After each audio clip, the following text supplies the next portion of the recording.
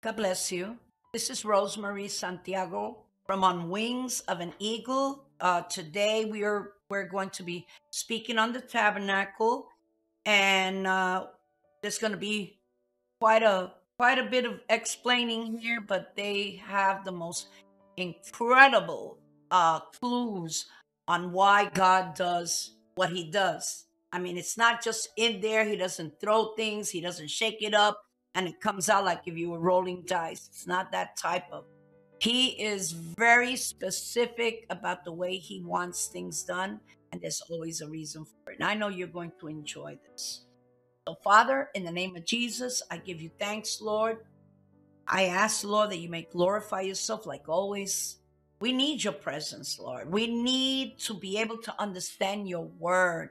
We need to understand that the reason why you speak the things you speak, Lord, or have allowed by the inspiration of your Holy Spirit for these things to be there is for us to connect in these times. Even though those were ancient times, they had different customs, Lord, but it all turns out to be the same thing for your honor and glory, your Son, and your Holy Spirit. I give you thanks, Father, in Jesus' mighty name. So, briefly, and this is an express at the very beginning, uh, for you to understand why the the nation of Israel. First of all, there were 70 nations. Genesis 10 speaks on it, the genealogy. Then it takes us to the Tower of Babel, chapter 11 where those nations they decided that they were going to do things their way. Like always, humans have a tendency to forget that there is a almighty God, omnipresent, omnipotent, omniscient, sovereign. He's the one that that uh, tells you this is the way I want things done. So then we get from uh, chapter 12 Abram to Abraham. He's an elderly person, so's his wife, but the Lord makes a promise to them. Both of them end up uh, laughing about it, and Isaac is his name. And uh, he was no joke, but he definitely was laughing. He was a promised child. Then we go to Genesis 21, where Isaac uh, gets uh, a, a wife, and then there's a struggle. She gets two children. They're struggling even from the very womb. They're struggling for the position, but God had already told her that Jacob, the the the younger one, was going to have the blessing.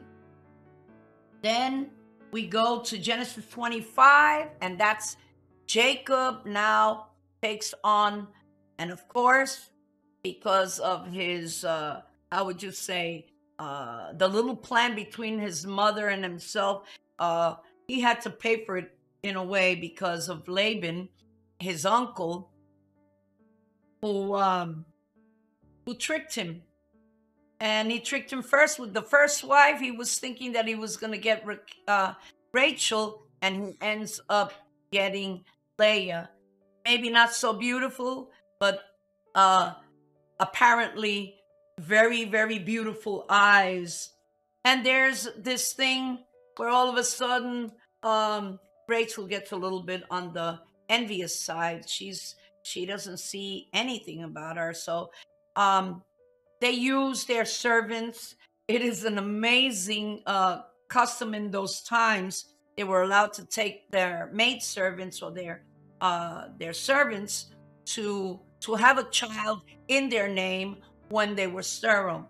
So finally, at the very end, uh, Rachel gets her her Joseph and her uh, Benjamin, though the uh, midwife was going to call her child Benoni because it was in pain and and she had parted, her soul had parted from her. Her husband said, No, his name is going to be Benjamin. So now, let's look at the sons of Jacob. that would be Genesis 29 and 30. Genesis 29 and 30, so you can get an idea.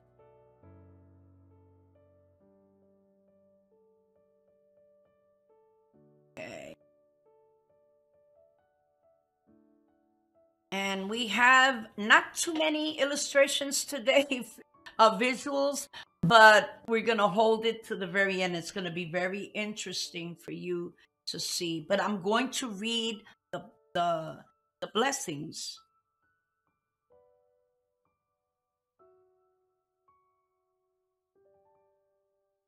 Okay.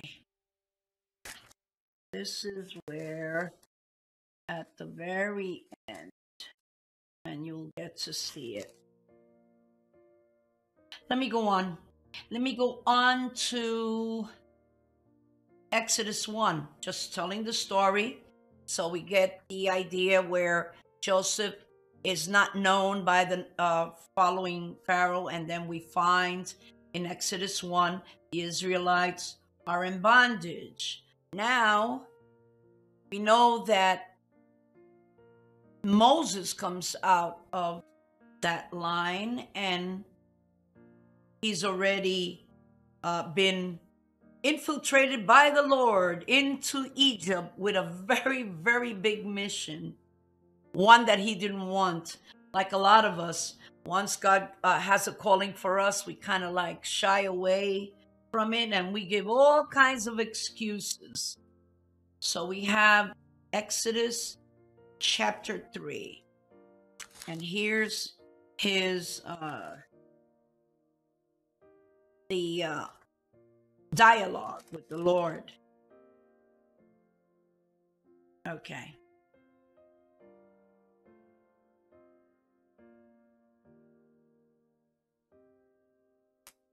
Now Moses kept the flock of Jethro, his father in law, the priest of Midian, and he led the flock to the backside of the desert and came to the mountain of God, even to Horeb. And the angel of the Lord appeared unto him. That is the angel of Jehovah. Wasn't just any. In a flame of fire out of the midst of a bush. And he looked, and behold, the bush burned with fire, and the bush was not consumed. And Moses said, I will now turn aside and see this great sight, why the bush is not burnt. And when the Lord saw that, he turned aside to see God, called unto him out of the midst of the bush, and said, Moses, Moses. And he said, Here am I. He said, Draw not nigh or hither, put off thy shoes from off thy feet, for the place wherein thou standest is holy ground. So, you know, he introduces himself here on um, where he's uh, basically he's debating and uh, acting more like a lawyer why he should not be the one to go and bring this message right to uh,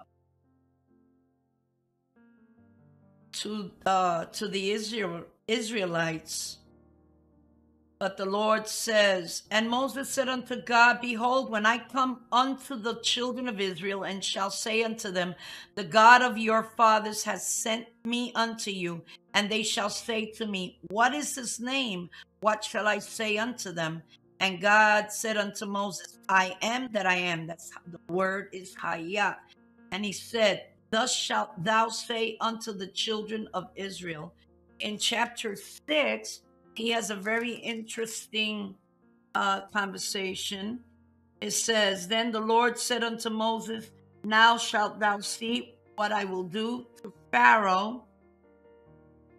Um, for with a strong hand shall he let them go, and with a strong hand shall he drive them out of his land.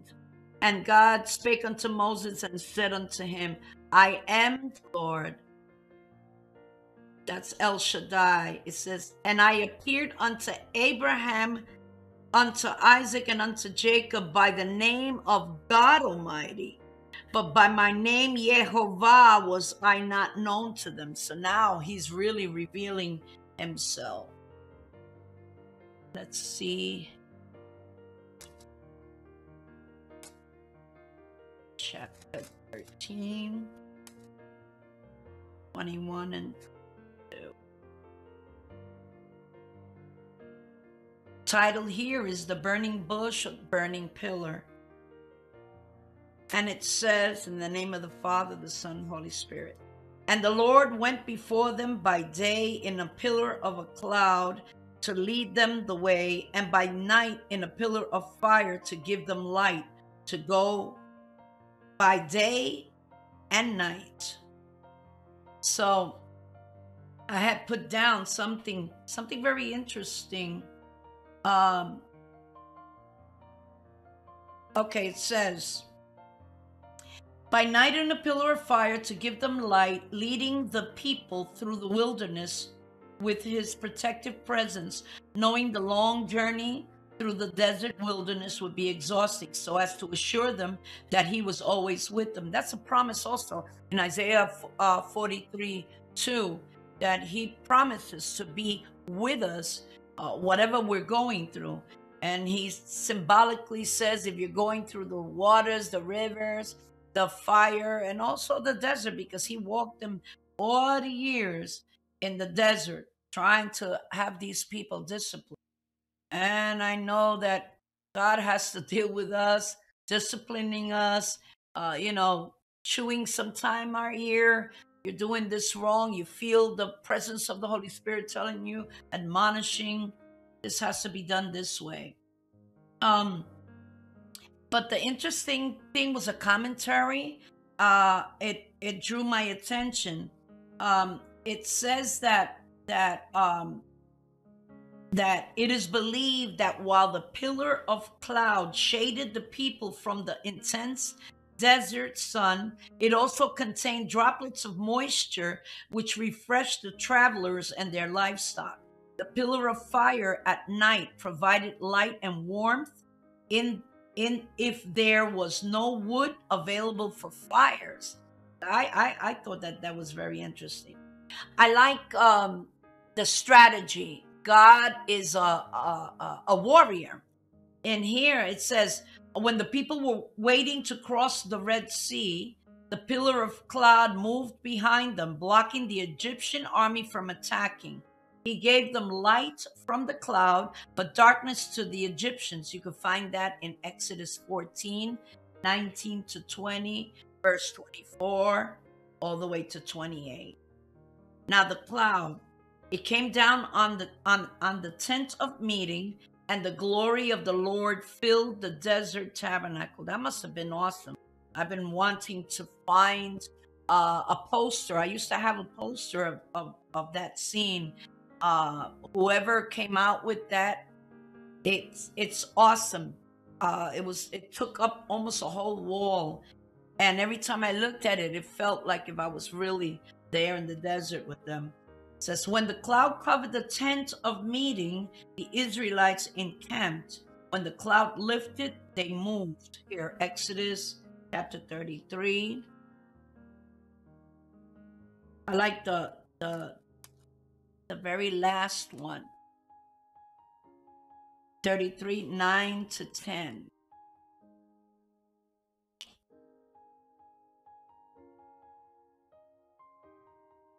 And it came to pass as Moses entered into the tabernacle, the cloudy pillar descended and stood at the door of the tabernacle. And the Lord talked with Moses. And all the people saw the cloudy pillar stand at the tabernacle door, and all the people rose up and worshipped, every man in his tent door. And the Lord spake unto Moses face to face, as a man speaketh unto his friend. And he turned again unto the camp, but his servant Joshua, the son of Nun, a young man, departed not out of the tabernacle. So God already had something very special because when you uh, go into the Word of God, you see wherever Moses was, even though um, um, Joshua could not approach fully because he had up to a certain uh, area. Even those that that the seventy that were uh, they were chosen by God to represent like the council. So whatever had to be done, they had to go and speak to the people. Okay. Warning concerning the Holy of Holies. Let's see Leviticus chapter 16 2. 16 2. And the Lord said unto Moses, Speak unto Aaron thy brother, that he come not at all times into the holy place within the veil before the mercy seat which is upon the ark, that he may die not. For I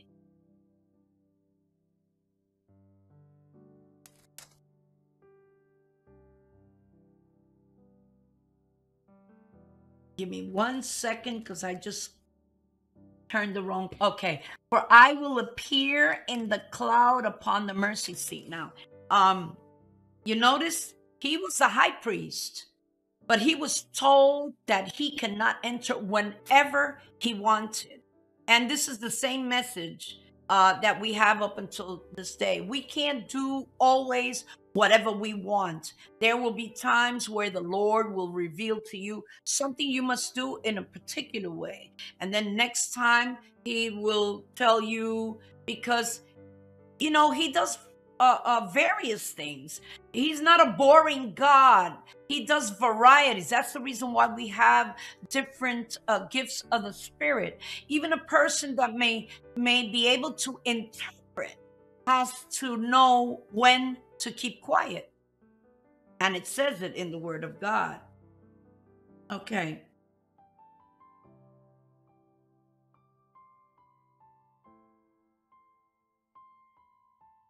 Now, it says, Fire foretells the light of the world. The pillar of fire illuminating the way for the Israelite nation was a foreshadowing of Jesus Christ, the Messiah, who came to save the world from sin.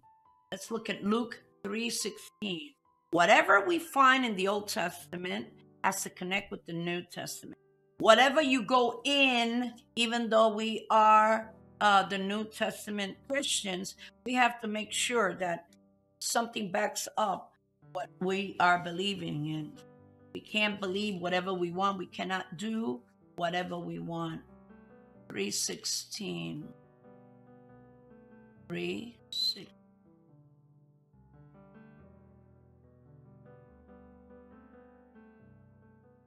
John answered, saying unto them all, I indeed baptize you with water, but one mightier than I cometh, the latchet of whose shoes I am not worthy to unloose. He shall baptize you with the Holy Spirit and with fire. So, what does fire do?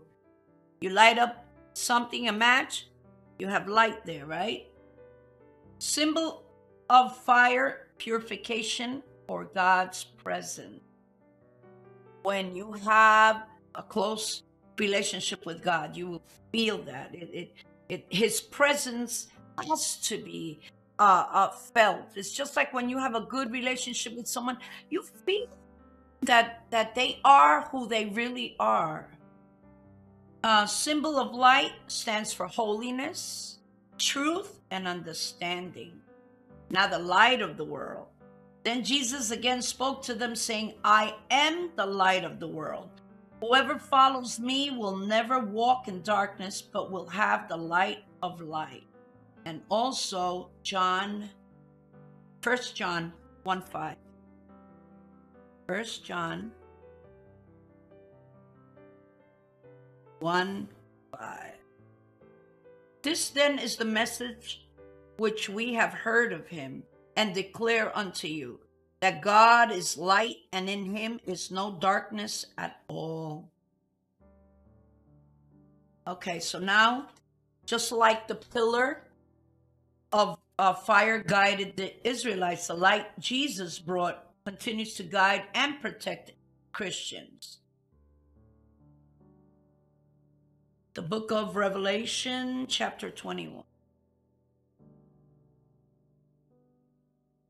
These are symbolisms 21, 23. And the city had no need of the sun, neither of the moon to shine in it, for the glory of God did lighten it, and the Lamb is the light thereof. So now we know why everything shines, right? And why it is important for it speaks of the eyes are the is the light for the for the body you know whatever we focus on. Uh, when we focus on things, that's why God has given us, you know, to be able to see. There's light, light all over the place, right? We can distinguish it day to night. And um, and it says that if if the light you have is darkness, then it contaminates the whole the whole body. Okay, the tabernacle in the wilderness, it was a portable place of worship that God commanded to be built after he rescued them from slavery in Egypt. It was used uh, from a year after they crossed the Red Sea.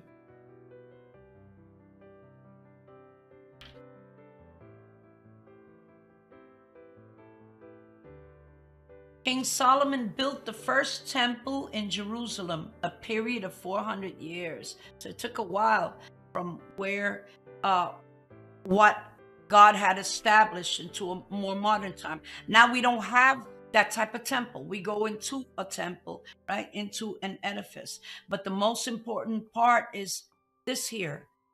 That's why uh, the Lord says that we are temple of the Holy Spirit through his word.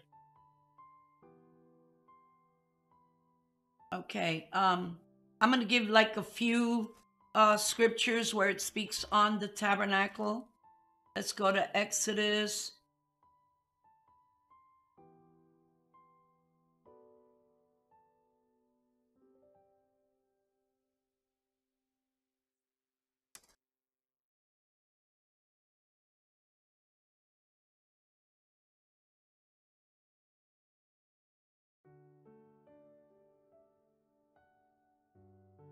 I'm just going to read them because there's there's a lot of scriptures. So if you have time, like to write them down, I'll pause and I'll and I'll uh, I'll just give them off. Uh, it speaks of of the tabernacle in uh, chapters 25 to 27. That is 25, 26, 27. Chapters 35 to 40. In Leviticus 8, 10 16 9, 19 13, 31 30, verse 47. Let's look at Joshua 22 29 to 20.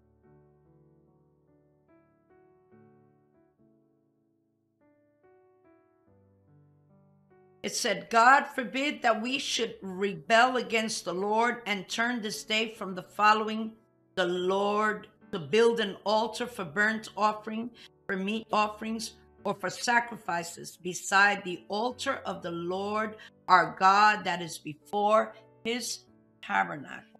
So, tabernacle was also considered a place of meeting. Meeting what?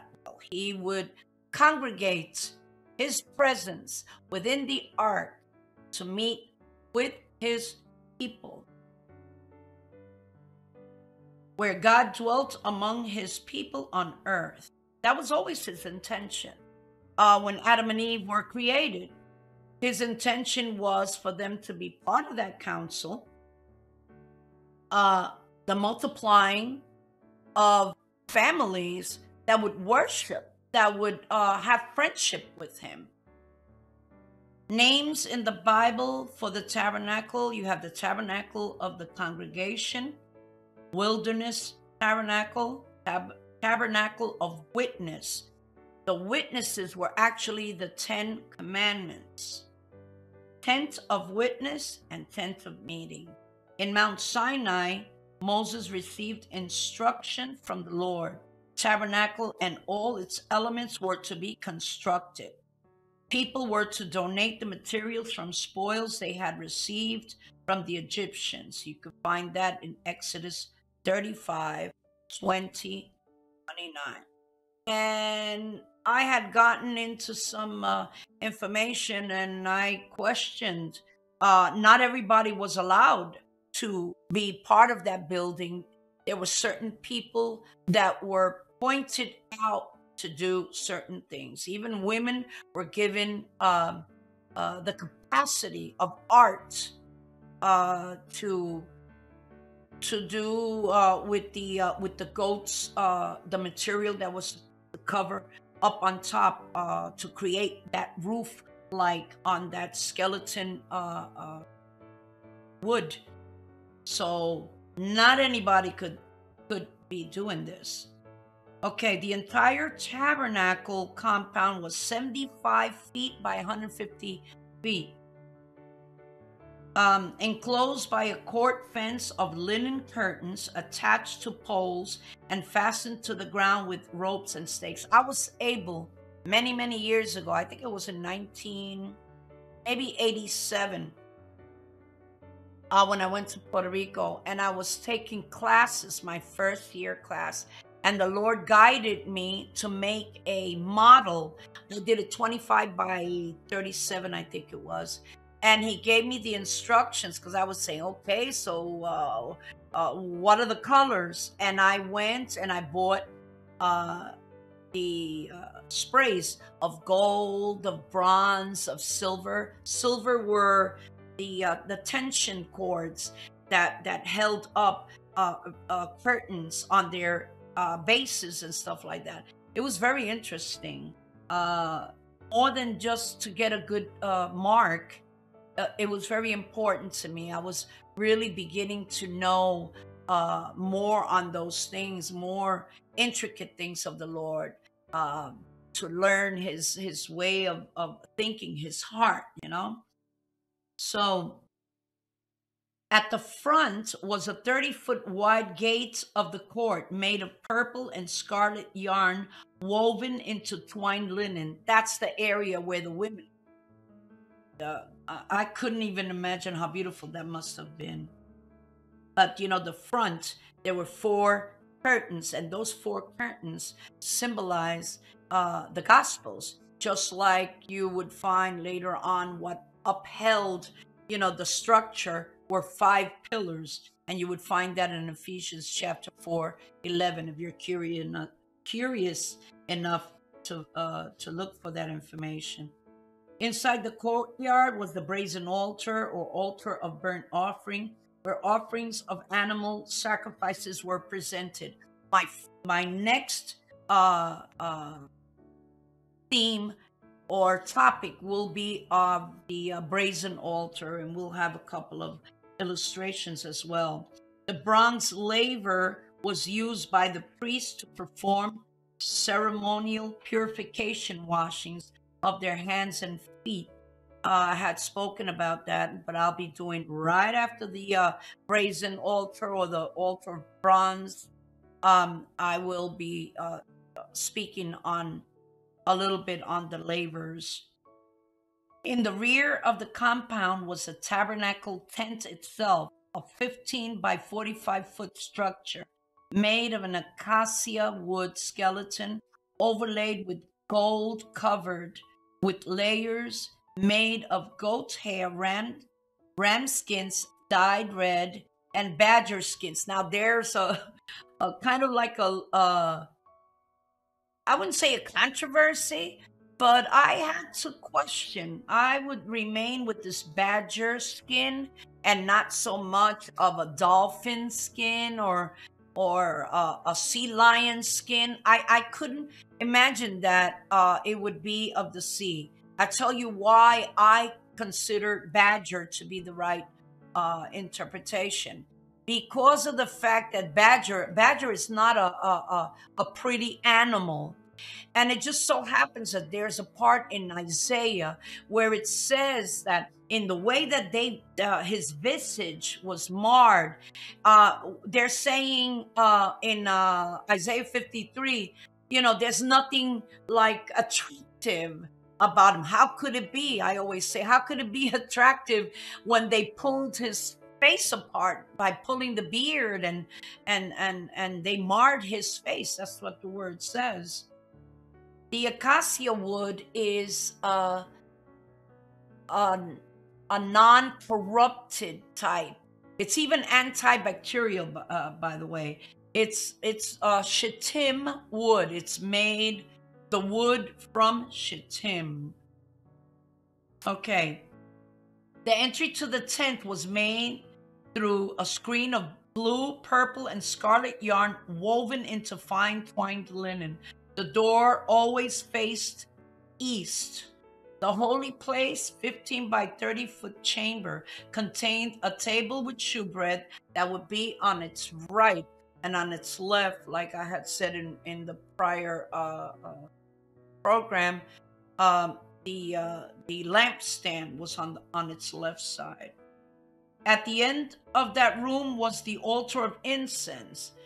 Um, the way it's explained at the end if you're looking this way, but actually it's to the front of the Holy of Holies. It would be right in front, and there would be this curtain because the curtain symbolized no access yet to the presence of God. And mind you, uh, with the high priest, he had to he had to offer up a sacrifice for himself recognizing that he is imperfect, that he is a sinner before he could do anything.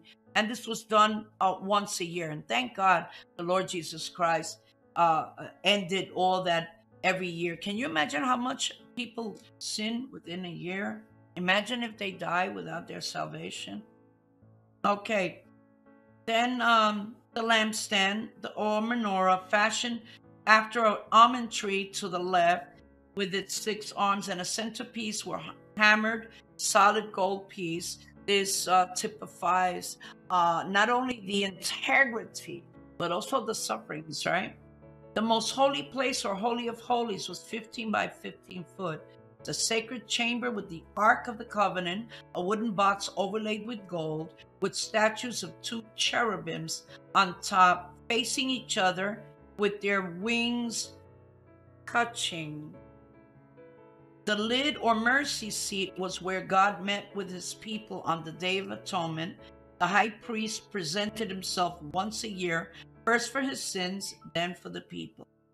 And then, of course, the inside, the lower level of the ark was the manna, uh, the table of, of I'm sorry, the tablets of the Ten Commandments, and also Aaron's rod. And we understand that that typifies, it's symbolic to giving fruit.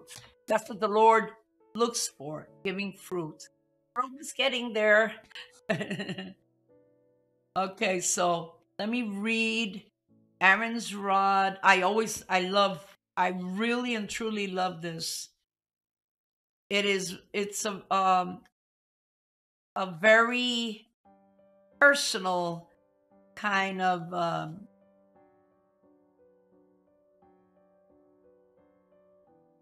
relationship, when God gives you a position. Numbers 17. He will always lift your you up in midst of whomever thinks that you're not even worthy.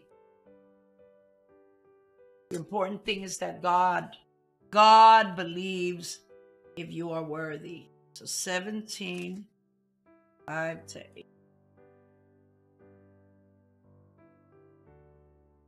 And it shall come to pass that the man's rod whom I shall choose shall blossom, and I will make to cease uh, from the murmurings of the children of Israel, whereby they murmur against you. And Moses spake unto the children of Israel, and every one of their princes gave him a rod a piece, for each prince one according to their fathers' houses, even twelve rods, and the rod of Aaron was among their rods. And Moses laid up the rods before the Lord in the tabernacle of witness. And it came to pass that on the morrow Moses went into the tabernacle of witness, and behold, the rod of Aaron for the house of Levi was budded, and brought forth buds, and bloomed blossoms, and yielded almonds. And Moses brought out all the rods from before the Lord unto all the children of Israel. And they looked and took every man his rod. And the Lord said unto Moses, Bring Aaron's rod again before the testimony to be kept for a token against the rebels, and thou shalt quiet, excuse me, and thou shalt quite take away their murmurings from me, that they die not. And Moses did so, as the Lord's at, as the Lord commanded him, so did he. And the children of Israel spake unto Moses, saying, Behold, we die, we perish, we all perish. Whosoever cometh anything near unto the tabernacle of the Lord shall die. Shall we be consumed with dying? Why is it that when people are out of the will of God, we're going to enter now and understand a portal tabernacle. It was situated in the very center of camp. The 12 tribes encamped around it. And we will see uh, number one, which are the banners. And this is very, very interesting because this has to, uh, this has to, uh, it is the blessings that Jacob spoke over his children. I'm going to see if I if I remember the scripture where exactly it is that he speaks over them. This is a little bit before the beginning of the Exodus. Um Okay. Chapter 49 of Genesis. And Jacob called unto his sons and said, Gather yourselves together, that I may tell you that which shall befall you in the last days. Gather yourselves together and hear, ye sons of Jacob, and hearken unto Israel your father. Reuben, thou art my firstborn, my might, and the beginning of my strength, the excellency of dignity and the excellency of power unstable as water, thou shalt not excel, because thou wentest up to thy father's bed, then defilest thou it. He went up to my couch. That was, he took one of his uh, concubines. Simeon and Levi are brethren, instruments of cruelty are in their habitations. O my soul, come not thou into their secret, unto their assembly. Mine honor be not thou united, for in their anger they slew a man, and in their self will they dig down a wall, but not only a man, because what happened was uh, Dinah, their sister, uh, was, well, was raped, really, but the boy fell in love and was willing to recompense. I go like this, if you call that a recompense. And what they did was, well, we cannot mix with strangers. So uh, I tell you what, uh, you get circumcised this way, you're recognized, and then we will give sister to you. And what it was, after they got circumcised, when they were into those days where they were feeling it for real, them two brothers got together and they killed not only the young boy, not only the father, but that town was wiped out. And that's the reason why Jacob, it, within the, uh, the, the, the blessing to his children, he also lets them know um, how they have faltered. Cursed be their anger, for it was fierce, and their wrath, for it was cruel. I will divide them in Jacob and scatter them in Israel. Judah, thou art he whom thy brethren shall praise. Thy hand shall be in the neck of thine enemies. Thy father's children shall bow down before thee. Judah is a lion's whelp from the prey, son. Thou art gone up. He stooped down, he couched as a lion, and as an old lion who shall rouse him up. Like we speak about the Lord Jesus Christ. He is the lion from the tribe of Judah. So that there was a blessing on that. And plus, the Lord had promised David that a king would uh, be in the throne forever, and for him to be in the throne forever, he would have to be Almighty God, right? So it says, The scepter shall not depart from Judah, nor a lawgiver from between his feet until Shiloh come.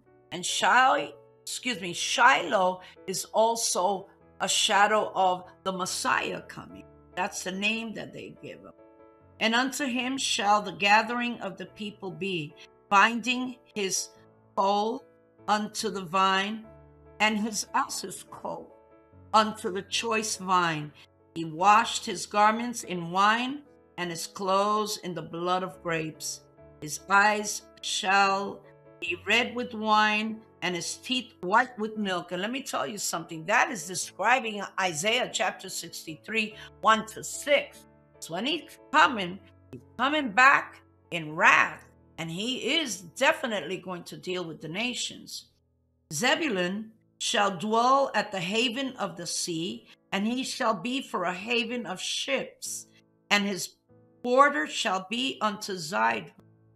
Issachar is as strong as couching down between two burdens, and he saw that rest good and the land that it was pleasant, and bowed his shoulder to bear, and became a servant unto tribute. Dan shall judge his people as one of the tribes of Israel. Dan shall be a serpent by the way that an adder in the path that biteth the horse heels, so that his rider shall fall backward. I have waited for thy salvation, O Lord. Gad, a troop shall overcome him, but he shall overcome at last. Out of Asher his bread shall be fat, and he shall yield royal dainties. Naphtali is a hind let loose, he giveth goodly words. Joseph is a fruitful bough, even a fruitful bough by a well, whose branches run over the, the wall. The archers have sorely grieved him and shot at him and hated him. And he's talking about when the brothers left him in that uh that well. And a lot of people always saying that he was sold by his brothers. That's not true. One has to read the scriptures. They were still questioning a lot of things. They left him there when Reuben went to go back to get his brother because they were talking about selling. That was in their heart, but they did not do it. So we have to assume that that someone that's down there in a well is going to yell out for help. And came the Midianites. And Midianites, it just so happens that are in the line of that family because the Midianites, Midian is the son of Abraham with uh with uh Satura. And they were um Arabs. Okay. Now, you'll notice in those uh, beautiful uh, designs, they had their their what they call the standard in Spanish estándar.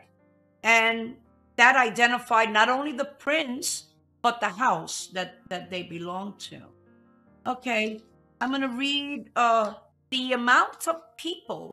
I'm, I'm I always in, in the Bible when I see uh, numbers, I like to write it down so I I can focus on it. It's very interesting why the Lord does what He does. Okay, so it says that the portable tabernacle was situated in the very center of camp. 12 tribes encamped around it. Now you have to figure it out. Uh, he's right in the center of it, and there are thousands of feet on each side because the presence of God is no joke. People have today can't figure that out. We have finite minds. We can't reason with it. And I would like for you to see, after I read the whole uh, amount of people, you will understand why God positioned them the way He did.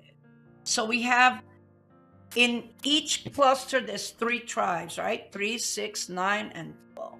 You have the north, you have Dan, 62,700. Asher had 41,500.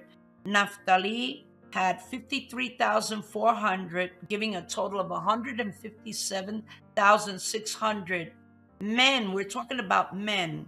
We're not talking about the women and children. Gad, who uh, covered south, was 45,650. Simeon was 59,300. Reuben was 46,500, a total of 151,450 men. On the east was Judah and Issachar and Zabulon. They were the biggest. Judah had 74,600. Issachar had 64,400. Zabulon had 67,400 with a total of 186,400. On the west side was Benjamin, 40,500. Manasseh, 32,200. And Ephraim, 35,400, giving them a total of 108,100. The whole total was 603,550, almost a million, almost a million. I would like for my son to illustrate number two photo so you can understand how beautiful is that. And we'll get to see all the symbolisms just looking at, at that. Why at the east and how they were situated because they were not allowed to look towards the east because the east is where the sun rises and goes down. Too much uh, worship of the sun. So during its use, the tabernacle was moved many times. Everything would be packed onto ox carts when the people left. But the Ark of the Covenant was hand carried by the Levites, like we learned in the last time, boy, because even when he thought he was doing a favor, when that came off, that Lamborghini, which nobody asked them to, to hook up, Uzzah paid a very big price. The tabernacle's journey at Sinai, it stood 38 years at Kadesh. After Joshua and the Hebrews crossed the Jordan River into the promised land, the tabernacle stood at Gilgal for seven years. Next home was Shiloh, where it remained until the time of the judges.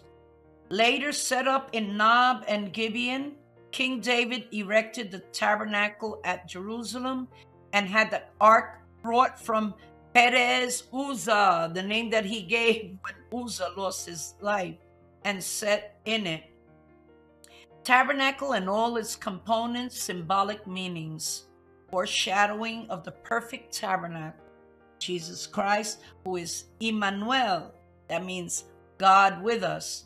The scriptures points to the coming Messiah who fulfilled God's loving plan for the salvation of the world.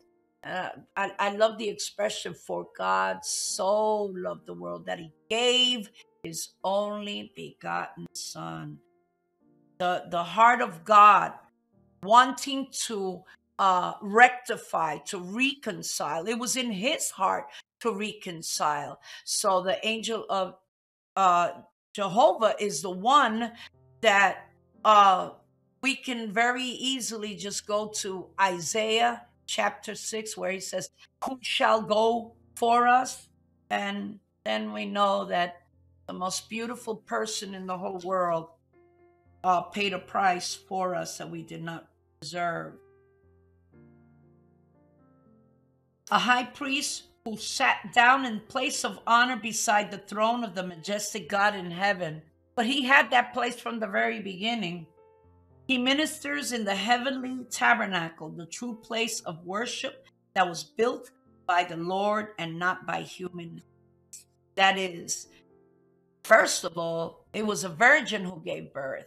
So I can imagine, I know because um, I took up nursing and I saw this beautiful video and it shows like a little uh a little lump of of blood and how everything just starts starts gathering but the cilia pushes it. And then it goes against gravity because the trumps are like this. So it goes inside and it drops into the womb. Well she had it placed she had it transplanted right there. The power of the holy spirit did that he ministers in the heavenly tabernacle, the true place of worship that was built by the Lord and not by human hands. The high priest is required to offer gifts and sacrifices, serving in a system of worship that is only a shadow of the real one in heaven. One day we will experience that. Jesus, our high priest, the ministry that is far superior than any old priesthood intercedes for us, a far better covenant with God based on better promises. Hebrews chapter 8, 1 to 6. God continues to dwell among his people, but an even more intimate way. After Jesus' ascension into heaven, he sent the Holy Spirit to live inside every Christian. Can be, can be.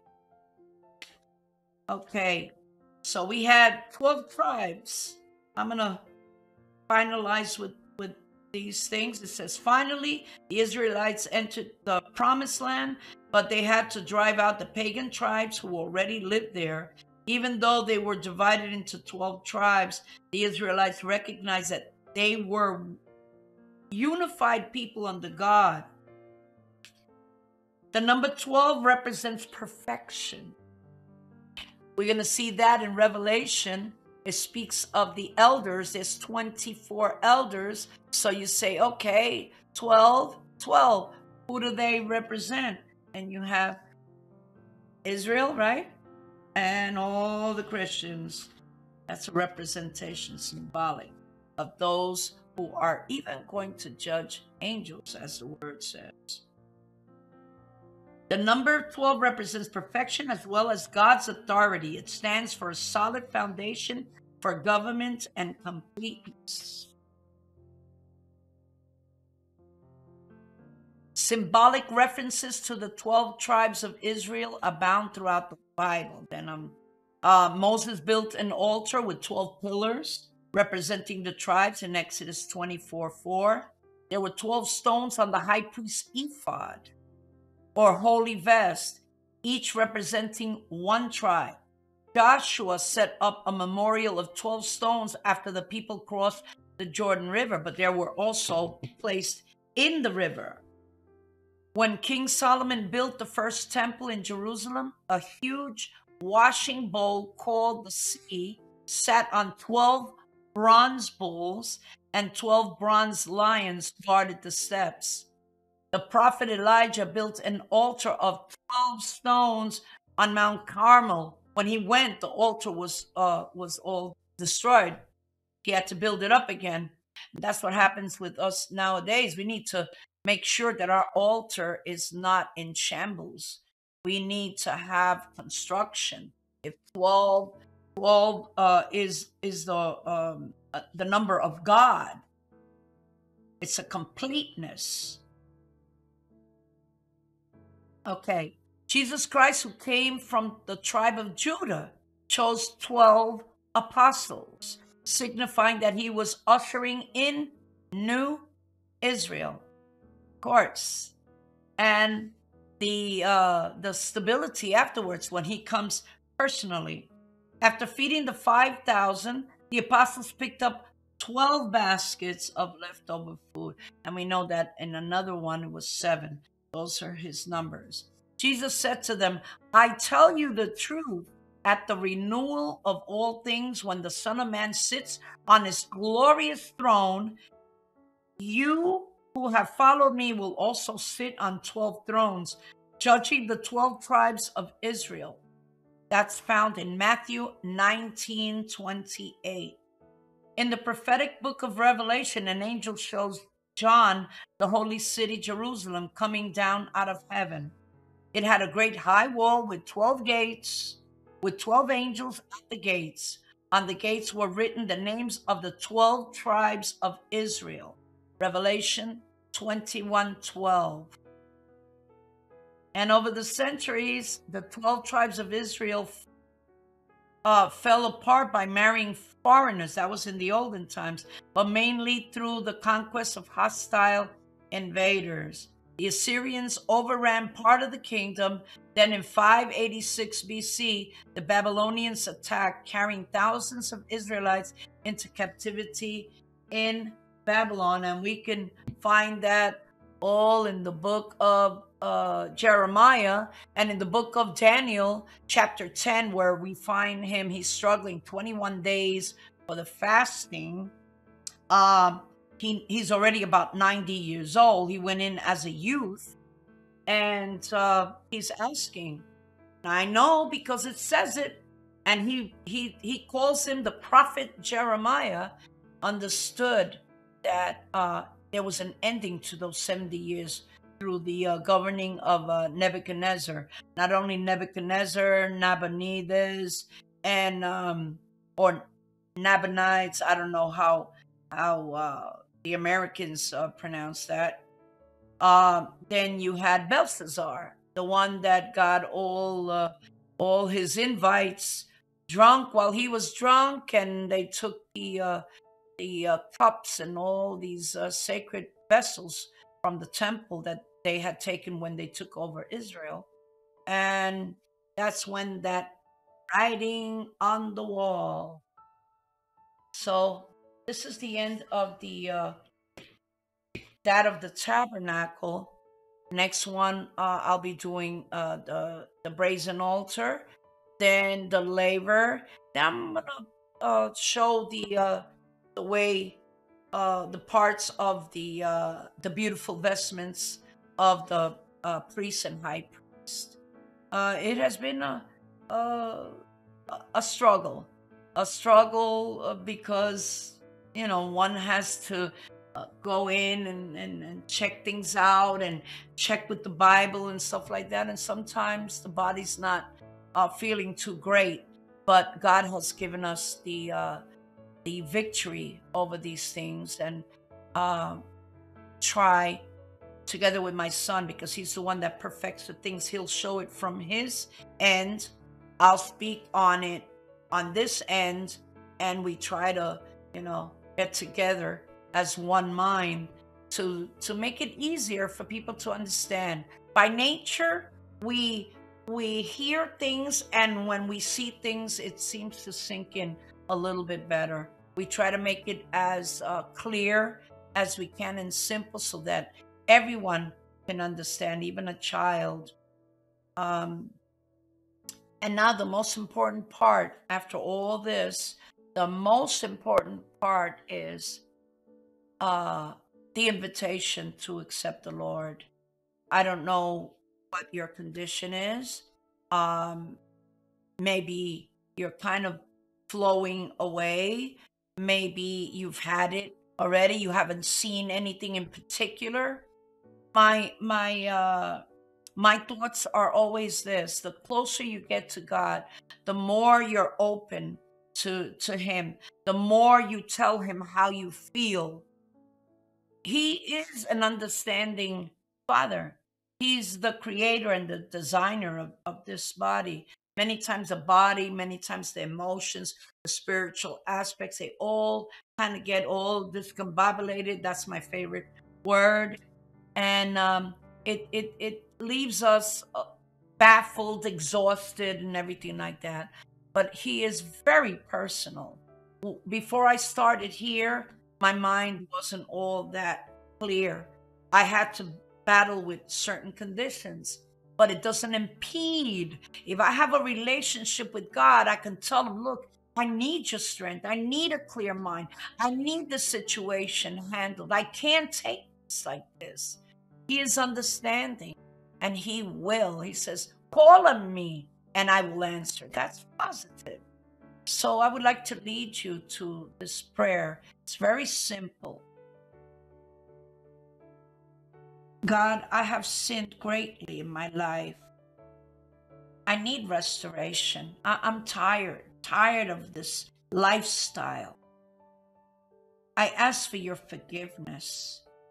And I thank you that I am given Jesus as my Savior, that He died on the cross. I do not need to die in my sins. I accept his sin sacrifice. He washes me with his blood. I ask the daily uh, walk with your Holy Spirit, that he may guide me to the truth of your word, and that you may write my name in the book of life. I ask you these things wholehearted in Jesus' mighty name.